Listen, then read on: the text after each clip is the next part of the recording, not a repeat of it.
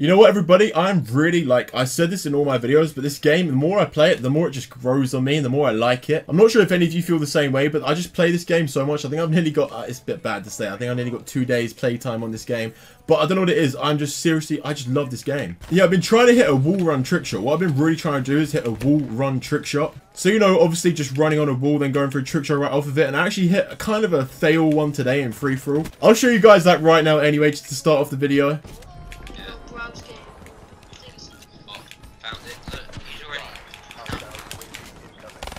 Oh, okay, I, I, that was an accident. I, yeah, don't worry about that. I don't think I hit a shot by accident. This guy was about to kill last time. I just died by this crash guy every There's like three people up there just hiding on Just ignore that. Just ignore that. Don't, don't, don't.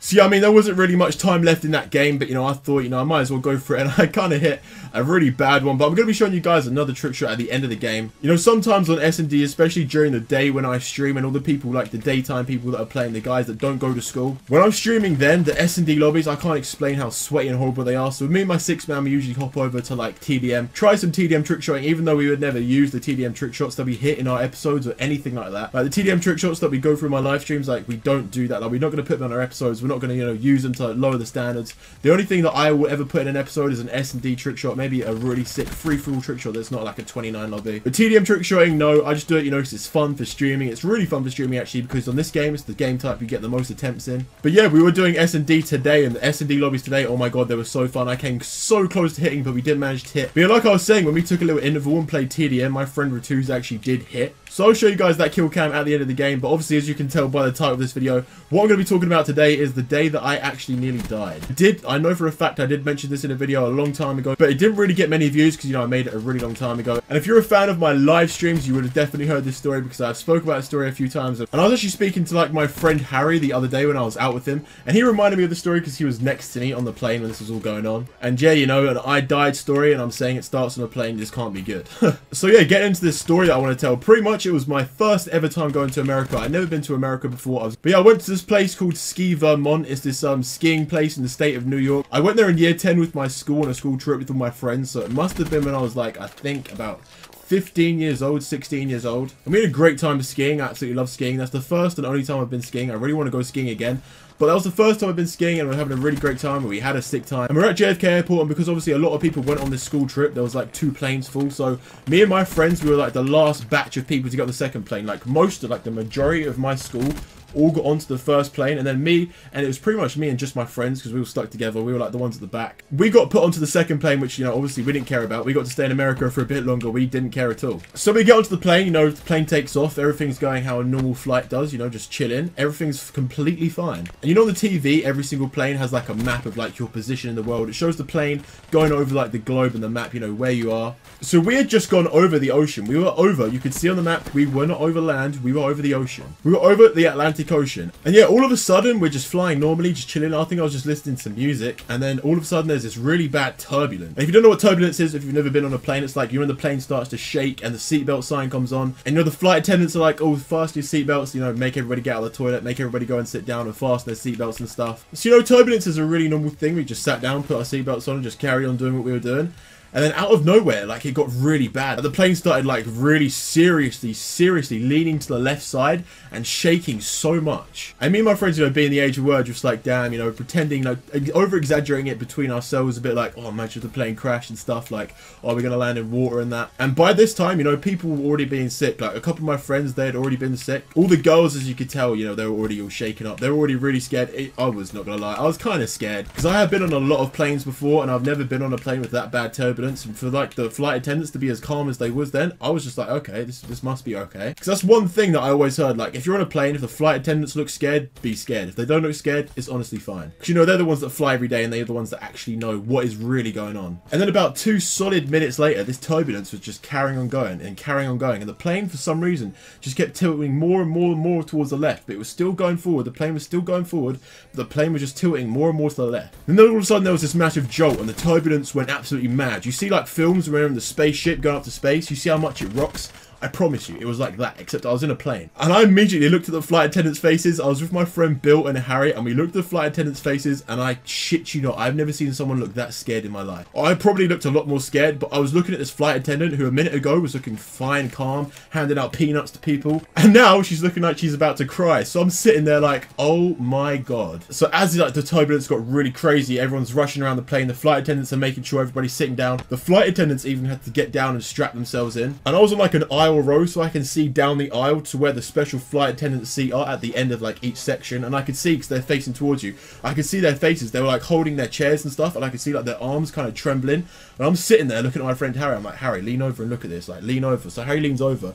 We're looking at the flight attendant like pretty like shit herself. This flight attendant Oh my god, and she made me so worried. and I had every right to be worried. I had no idea at that exact time how worried I really should have been. So if you guys have ever flown, you know there's like the announcer thing where the pilot actually like, announces stuff to the crew and to like the passengers and stuff, you know, updating them with what's going on. Yeah, he wasn't doing that, and all the flight attendants are sitting there like, um, okay, okay, okay, nothing, like, no one's saying anything. I was thinking like, okay, why has no one said something? Like, someone should say something like, yeah, it's all gonna be fine, no worries, just a bit of turbulence, which is what you would expect to hear. But yeah, after not hearing anything for five minutes, watching about three of my friends be sick, I'm sitting there with my friend Harry, holding onto my chair for my dear life. So yeah, the announcer thing turns on, the pilot goes, we're turning around to land in Atlanta for an emergency landing. The left wing has failed. I shit you not. He says, the left wing has failed. I'm sitting there, 16 years old, right? Like, what?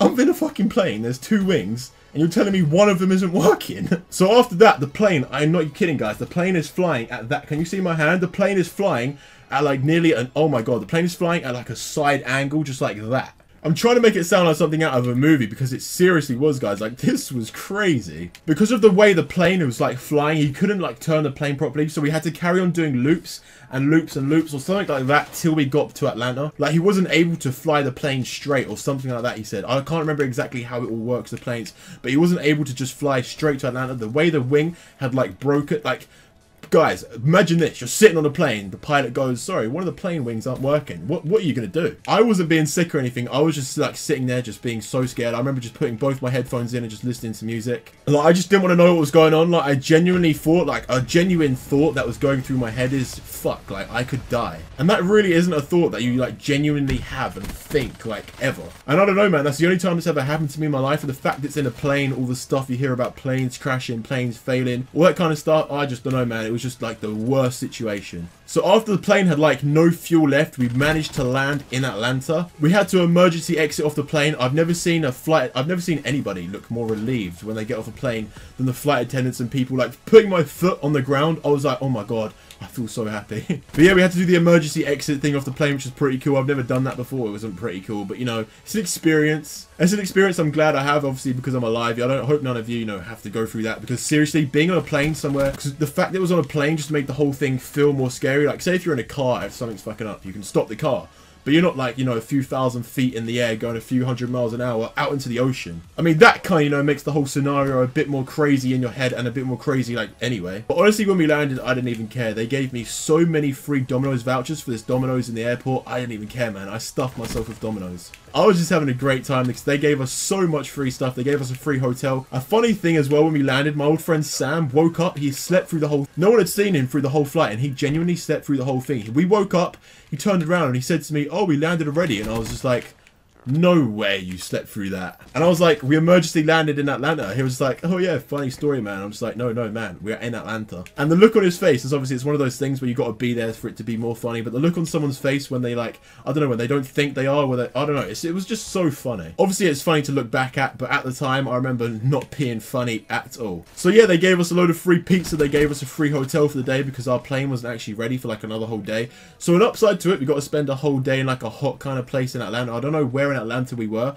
I didn't know Atlanta was hot. That's the only time I've ever been to Atlanta. So yeah, no upside we got a load of free food. We got to end up spending an extra day in America. We had a great holiday. It was a fun thing. Honestly, it's a really fun story to have. Like stuff like that is really like it's cool to have stories like that. You can obviously if everyone's fine and everybody's you know not harmed from it, but it's a really cool story to have. I thought I wanted to share it with you guys. So yeah, that is like the closest time in my life I've ever genuinely thought to myself, I'm gonna die, or you know I, I could die. Not that I'm gonna die. I could die. I was, I was never thinking to myself, I'm gonna die because you know that's just nuts. Like, I was thinking to myself, there's a possibility right now. Like, it's a legit possibility. But yeah, anyway, um, I hope you guys do enjoy this trick shot. I thought I had to share that story with you guys today because I mentioned it in my live stream earlier and I was like, I actually want to speak about this in my video tonight because I've never gone into real depth with this story. Like, and I really described everything that was going on. So yeah, if you guys want me to tell more stories, I've got a lot of stories of stuff I could tell. There's a lot of stuff that I've had happen to me. There's a lot of stories that I could tell. If you guys want me to do that, if you want me to tell stories in future videos, then make sure you leave a like on the video if you did enjoy it. If you guys want me to upload my epic supply drop opening video for my next video, let's try smash 2,000 likes this video. I'd really appreciate that. And yeah, anyway, I hope you guys have a great rest of your day. Make sure you check out G2 in the description. Also, enjoy this trick shot. And uh, yeah, I'll see you in my video tomorrow, guys. Peace out. You just hit. What the hell? Setting up for rescue team No way. Did you hit Ratuz? Ratuz hit! Yes, Ratuz! Oh, you're a beast. Where was it? Oh, yes, man. Ratuz hit the bill. Ratuz hit the bill.